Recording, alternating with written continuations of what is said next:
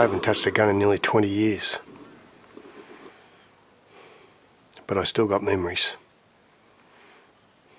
Every night.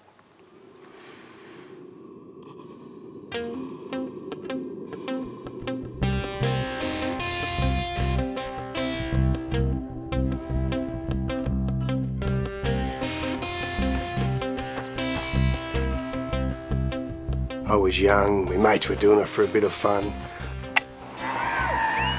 That's what we do on a Saturday night.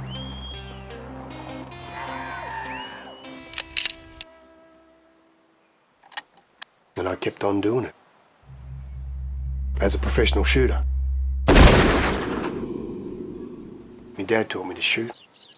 He'd say, go on, son, take a pot shot at them galahs up in a tree. So I did.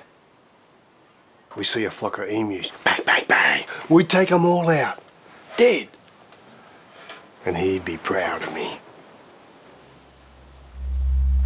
Yeah, a gun can make you feel sort of powerful.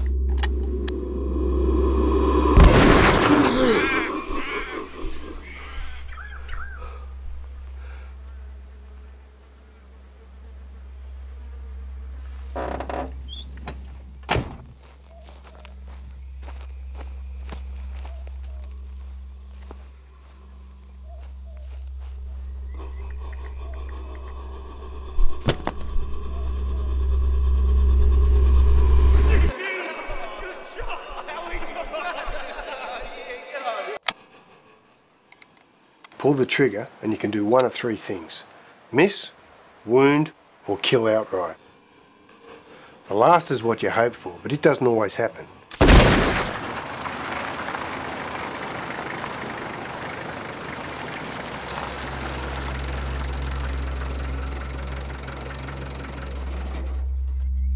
Sometimes its mouth gets blown off, paws are shot clean off, or its guts are expelled while it's still alive.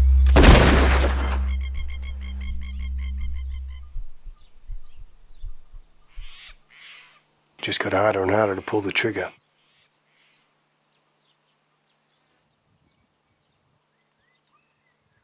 But I still did. I wish I could go to the doctor and get an anti-memory injection, you know, to help me forget. But there's a part of me that wants to remember. Because I am responsible. If you shoot a female, you have to deal with a Joey in his pouch.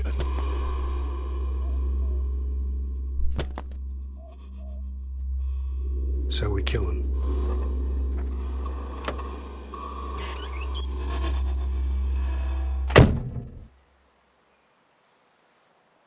That's the code of practice.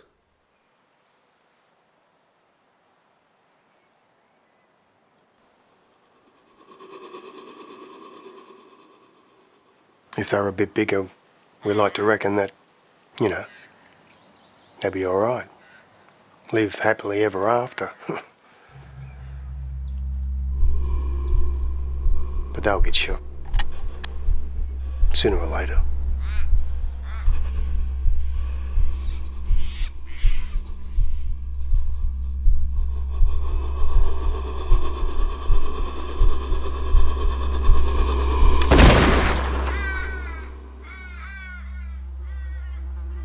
Like the enemy in their own bloody country.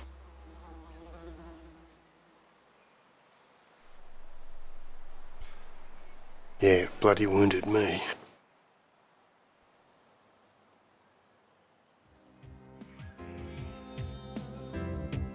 It's another day done. When I don't reach for that gun. There's another tear shed. But just so easily led.